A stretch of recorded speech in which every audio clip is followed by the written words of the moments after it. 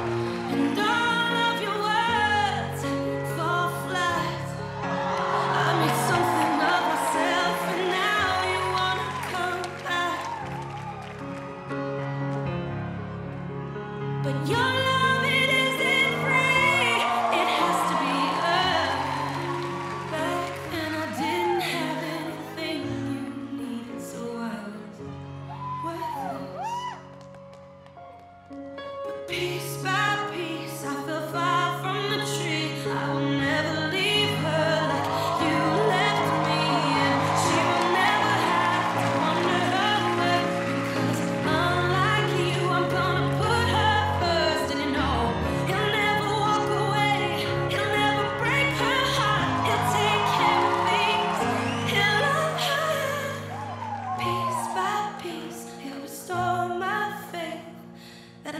can be kind, and a father should.